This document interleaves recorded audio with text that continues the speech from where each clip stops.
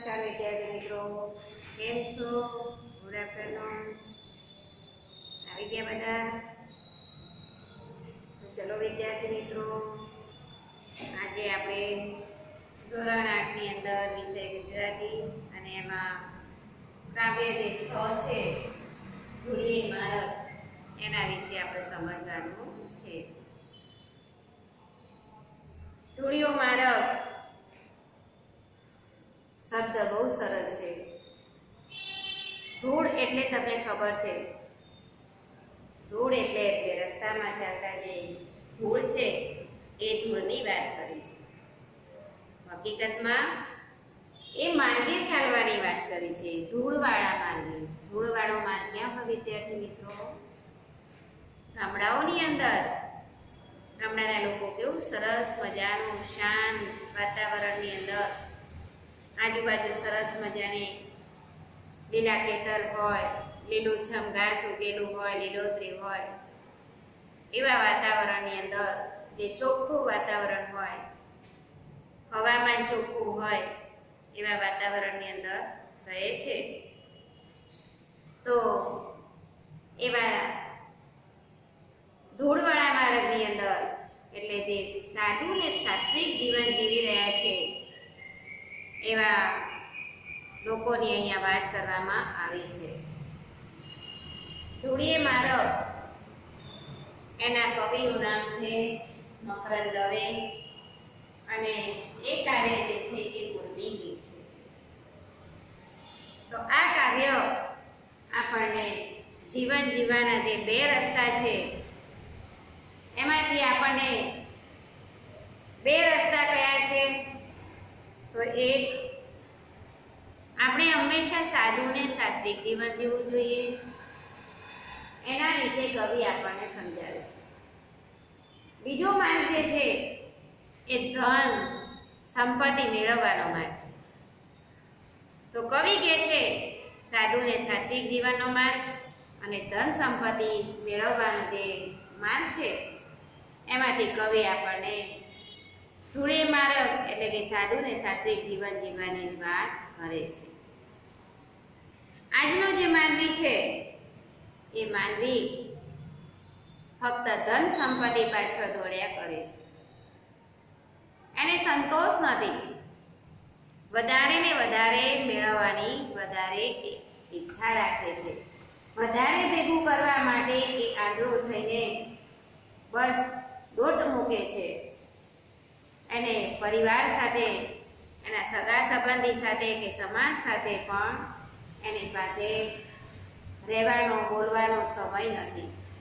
વ્યવહાર સાચવવાનો પણ એની પાસે સમય નથી. વિદ્યાર્થી મિત્રો, સૌથી વધારે જો મૂલ્યવાન મૂલ્યવાન હોય, તો શું છે જગતની અંદર સૌથી વધુ મૂલ્યવાન હોય? તો એ માણસ માણસ વચ્ચેનો જે પ્રેમ છે, જે લાગણી છે, એ સૌથી વધારે મૂલ્યવાન છે. એકલો પૈસો નહીં. પૈસો જેની પાસે છે એ માણસ સ્વાર્થીનો છે. કારણ કે એ સ્વાર્થ માટે જ પોતાનું કામ કાર્ય કરી રહ્યો હોય છે. એટલે કવિ કહે છે કે આપણે હંમેશા સાદા અને સાત્વિક જીવન જીવવા પાછળ આપણે હંમેશા રહેવું જોઈએ. સાદું ને સાત્વિક જીવન જીવવું જોઈએ. તો કાવ્ય છ ધૂળીએ માર્ગ એટલે સાદું ને સાત્વિક જીવન જેવો માર્ગ. તો જગતમાં સૌથી વધુ મૂલ્યવાન જો હોય તો માણસ માણસ પ્રત્યેનો પ્રેમ છે, લાગણી છે. આજનો જે માનવી છે, એ ધન માટે, વૈભવ માટે, એ વલખા માર્યા વગર પોતાની વર્તમાન સ્થિતિની અંદર આજના માનવીને સમાન બે જીવાનો સંસ્કાર આપી જાય એવું આ છે. જીવન વિશેનો ખ્યાલ તો ખૂબ જ જુદો છે. એમાં બે માર્ગો છે. એક ધૂળિયો માર્ગ, એટલે કે સાદો ને જીવન જીવવાનો માર્ગ, અને બીજો જે માર્ગ છે એ સોનાનો માર્ગ છે. સોનાનો એટલે કે ધન સંપત્તિની લાલસાવાળો માર્ગ છે. અહીંયા આપણને કવિ ધૂળીએ માર્ગે ચાલવાનું કહે છે. તો એ પહેલાં આપણે કાવ્યનું ગાન કરીશું વિદ્યાર્થી મિત્રો. દરેક વિદ્યાર્થી સાથે ચોપડી રાખે અને ચોપડીની અંદર કાવ્યમાં આપણા શબ્દો, લીટીઓ, જે પંક્તિઓ છે એમાં ધ્યાન રાખેલું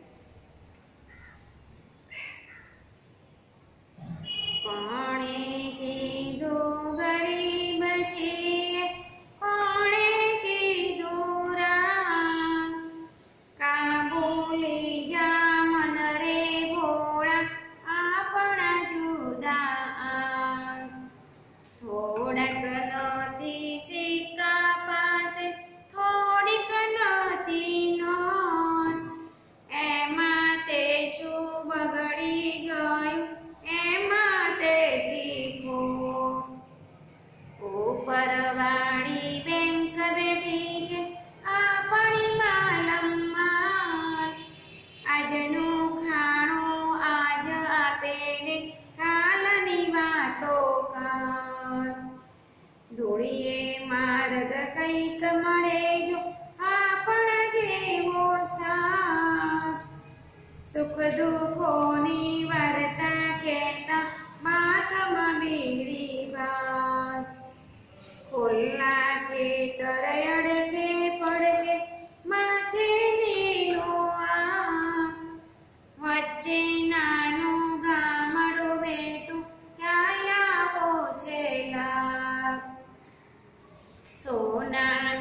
સોનાની તો સાંકડી ગલી હે તું ગણતું હે દોડિયા માટે દોડતા એમાં જીવતા જોને પ્રેમ માનવી બાળી અમથું અમથું આપણું પોરેવાન નોટને સિક્કા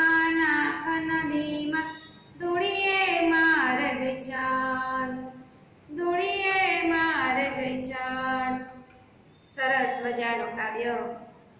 કાવ્યની અંદર કવિ મકરંદ દવે આપણને સરસ મજાનું જીવન જીવવા વિશે સમજાવી ગયા છે કે હે માંડવી,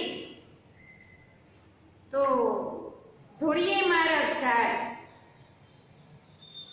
કે જે કોણે કીધું આપણે ગરીબ છીએ અને કોણે કીધું રાણ છીએ? કોણે કીધું ગરીબ છીએ? કોણે કીધું? રાગ છીએ. ગરીબ એટલે પણ ગરીબ અને રાગ એટલે પણ ગરીબ. કોણે કીધું કે આપણે ગરીબ છીએ? કે આપણે બિચારા છીએ? આપણી પાસે ઘણું બધું છે. ઉપર આકાશ છે, નીચે ધરતી છે. ભગવાને સરસ મજાની હવા આપણને આપેલી છે. સુંદર મજાનું પાણી આપેલું છે. એમાં આપણે મહેનત કરીને આપણે આપણું જીવન જીવવાનું છે. આપણી પાસે પૈસા નથી, થોડી નોટો નથી કે થોડા સિક્કા નથી, એટલે શું આપણે ગરીબ છીએ? નહીં. ભગવાનને આપણી ચિંતા છે, જેને જન્મ આપ્યો છે, એને આજનું ખાવાનું આજ આપવાની અને કાલનું ખાવાનું કાલ આપવાની ઉપરવાળી બેંકને ખબર છે. ઉપરવાળી જે ઉપરવાળા જે ભગવાન બેઠા છે, એને ખબર છે. એટલે આપણે એની ચિંતા કરવાની જરૂર નથી. આપણે ધન વૈભવ પાસે પાછળ આંધળી દોઢ મૂકવાની જરૂર નથી. તો કે છે, કોણે કીધું ગરીબ છીએ ને કોણે કીધું રામ છીએ? કોણે કીધું કે આપણે ગરીબ છીએ અને કોણે કીધું કે આપણે બિચારા છીએ, ગરીબ છીએ?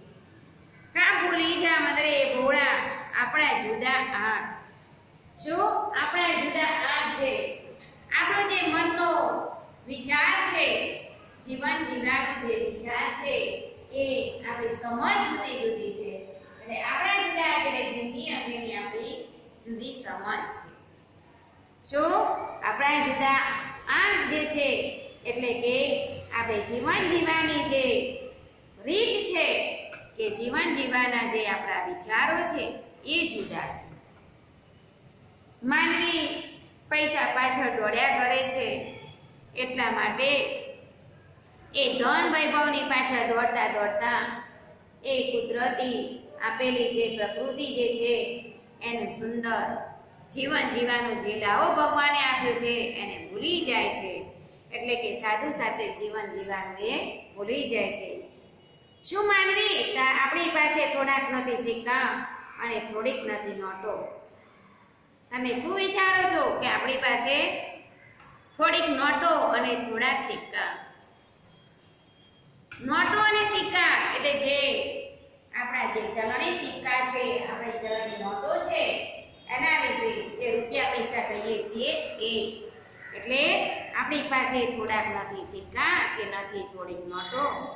એમાં તો શું બગડી ગયું? એમાં કોઈ આપણું કંઈ બગડી ગયું છે ખરું? એમાંથી શું ખોટ આપણું કંઈ નુકસાન થયું છે? સિક્કાની નોટ ન હોય કે આપણી પાસે પૈસા, રૂપિયા ન હોય, તો શું આપણને કંઈ બગડી જાય? આપણને કંઈ નુકસાન થવાનું છે? આપણે જીવન જીવવાના છીએ.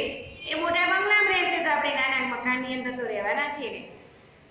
મોટા બંગલાની અંદર રહેવા વાળો જે મનુષ્ય એ પણ દાળ શાક રોટલી ખાય છે અને આપણે પણ એ જ ખાઈએ છીએ.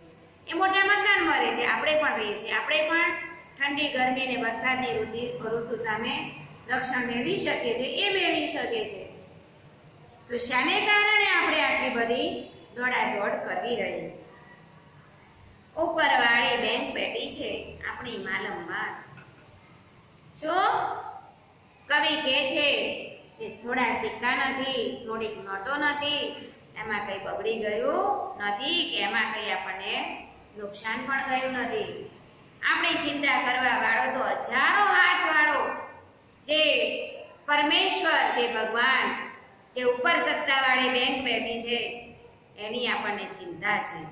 એને આપણની, આપણી ચિંતા છે. એટલે ઉપરવાળી બેંક બેઠી છે, આપણને માલમ માલ રૂપિયાવાળી કરવાવાળી બેંક તો ઉપર બેઠી છે, વિદ્યાર્થી મિત્રો.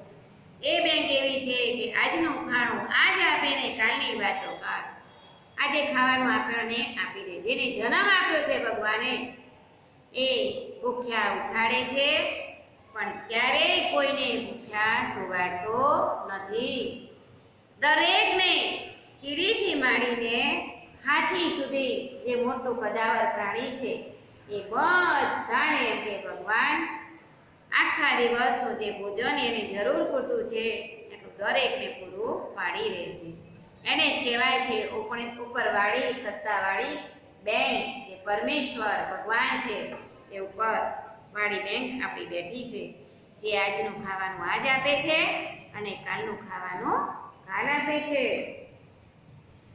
કવિ કહે છે કે ધૂળીએ મારે કંઈક મળે જો આપણા જેવો સાથ. ધૂળીએ મારે.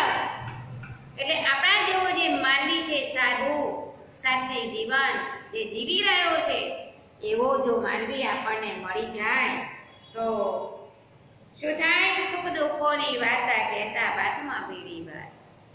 આપણા જેવો સાદો એવો કોઈક માનવી મળી જાય સાદું ને સાત્વિક જીવન જીવવાવાળો મનુષ્ય જો આપણા જીવનની અંદર મળી જાય, તો આપણે એની સાથે સુખ દુઃખોની વાતો કરીએ અને એને પ્રેમથી ભેટીને આલિંગન કરીને એને એની સાથે સુખ દુઃખોની વાતો કરીને આપણા મનને હળવું કરીએ. એટલા માટે કહે છે કે કવિ આપણે હંમેશા ધૂળીએ માર્ગે ચાલવું જોઈએ. ખુલ્લા ખેતર અડગે પડગે માથે નીલું આવ સરસ મજાનું ગામડું છે. એ ગામડાની અંદર શું છે? અહીંયા તમે શહેરની અંદર જુઓ, વાતાવરણ કેટલું પ્રદૂષિત છે. વાહનો જુઓ, મનુષ્યો જુઓ ઉદ્યોગો જો જેને કારણે વાતાવરણ પ્રદૂષિત થઈ રહ્યું છે.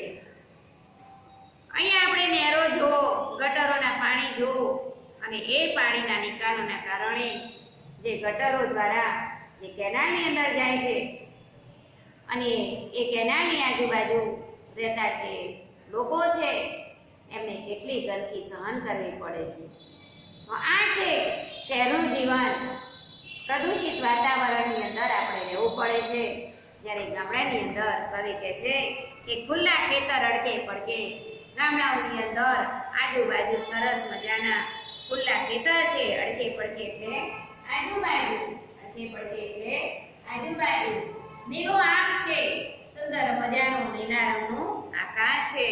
માથે એટલે ઉપર ઉપર સરસ મજાનું નીલા રંગનું આકાશ છે. વચ્ચેના ગામડું બેઠું ક્યાં આવો છે ગામ આજુબાજુ સરસ મજાના ખુલ્લા ખેતર હોય, ઉપર સરસ મજાનું નીલા રંગનું આકાશ હોય, અને એ બધાની વચ્ચે સરસ મજાનું આખું સરસ ગામડું હોય, અને એ ગામડાની અંદર આપણને રહેવાનો કેટલો આનંદ હોય, અને એ લાભ જે છે એ કોને મળે? જે લોકો સાધુને સાથે જીવન જીવી રહ્યા છે એમને આનો સરસ મજાનો કુદરતી લાવો લેવાની, કુદરતી જીવન જીવવાનો સરસ લાવો મળી રહે છે, એને લાભ મળી રહે છે. સોનાની તો સાંકડી ગલી એ તો વળતો હે.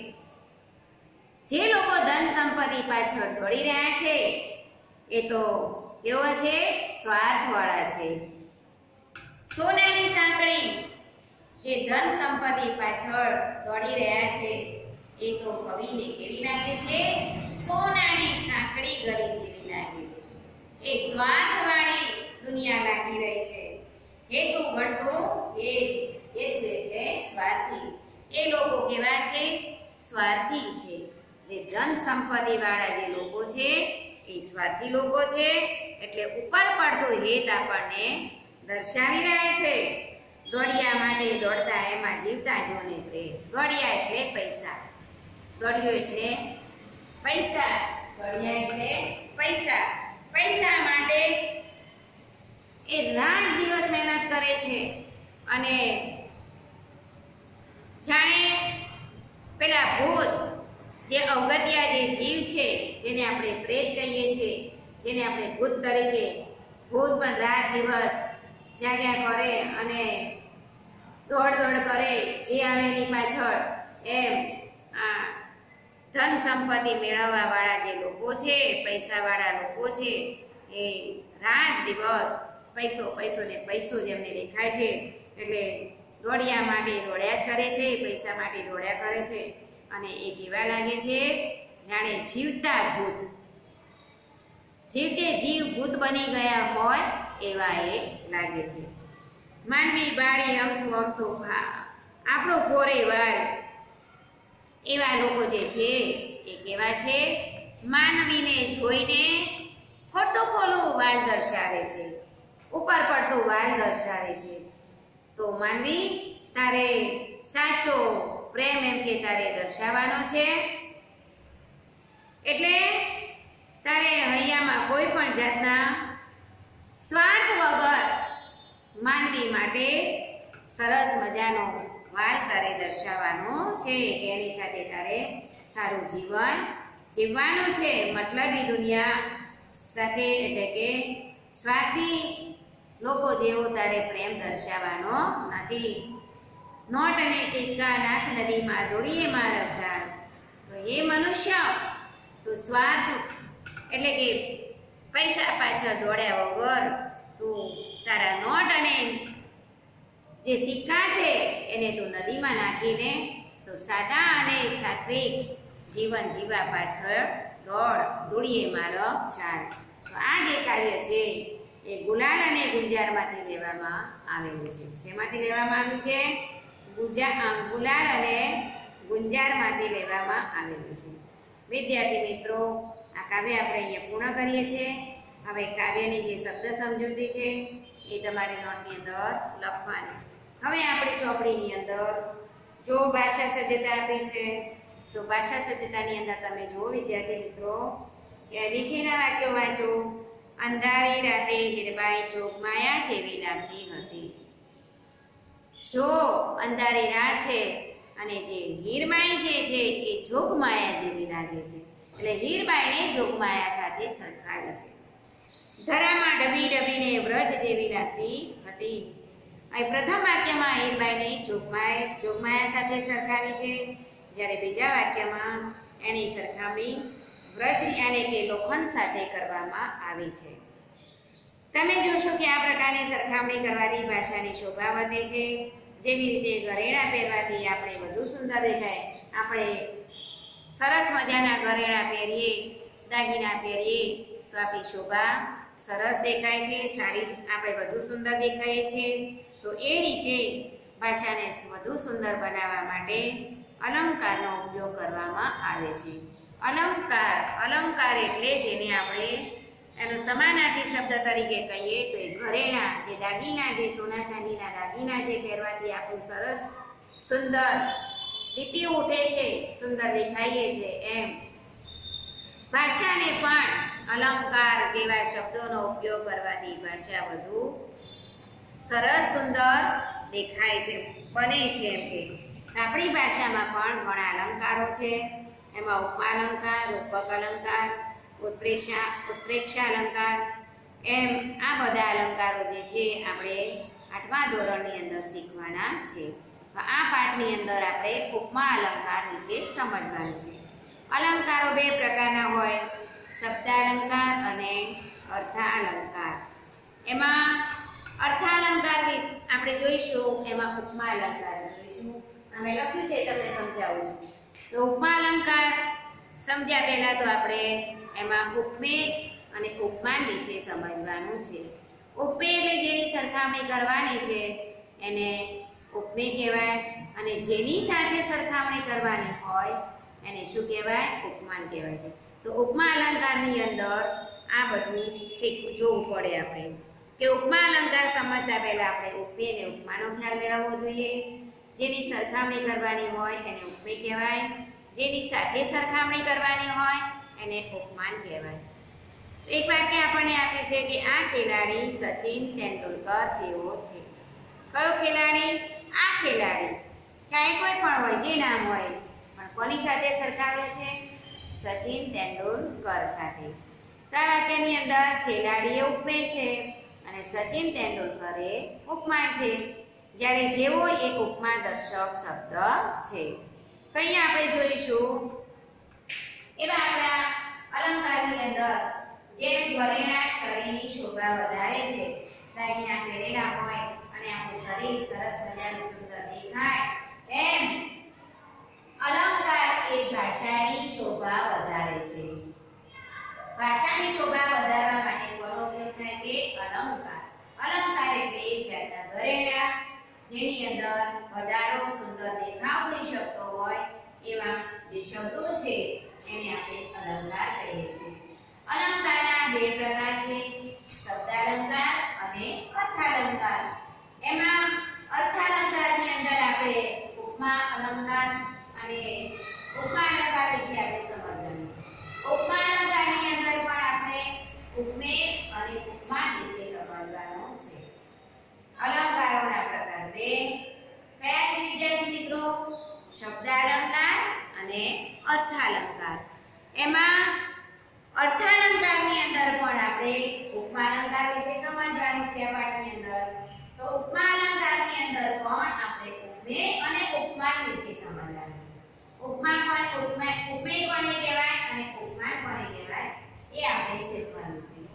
તો ઉપમે એટલે જેની સરખામણી કરવાની હોય, તેને ઉપમે કહેવાય. જેની સરખામણી કરવાની હોય, એને શું કહેવાય? ઉપમેય જેની સાથે સરખામણી કરવાની હોય, એને શું કહેવાય? ઉપમેય ઉપમાન કહેવાય છે. અહીંયા લખ્યું છે ખેલાડી સચિન તેંડુલકર જેવો છે. અહીંયા જે ખેલાડી શબ્દ છે, એ ઉપમેય છે. એ ખેલાડી જે છે, એની સરખામણી કરી છે. ખેલાડીની સરખામણી કોની સાથે કરી છે સચિન તેંડુલકર સાથે. એટલે ખેલાડી એ ઉપમે છે, સચિન તેંડુલકર એ શું છે? ઉપમાન છે. જેની સરખામણી કરવાની હોય, એટલે અહીંયા ખેલાડીની સરખામણી કરે છે, એટલે એ ઉપમે છે. અને સચિન તેંડુલકર સાથે ખેલાડીની સરખામણી સચિન તેંડુલકર સાથે કરી છે, એટલે એ ઉપમાન છે. હવે બીજું વાક્ય જોયું છે, રાઘવ ભીમ જેવો છે. કોણ છે? રાઘવ અને ભીમ. બે છે. પણ રાઘવ એ કોને જેવો છે? એ ભીમ જેવો છે. ભીમ એટલે આપણે મહાભારતના અંદર આવે છે ને પાંડવોના પાંચ ભાઈઓ છે. એ પાંડવોમાં જે સૌથી મહાન પડ્યો એવો ભીમ. તો રાઘવ ભીમ જેવો છે.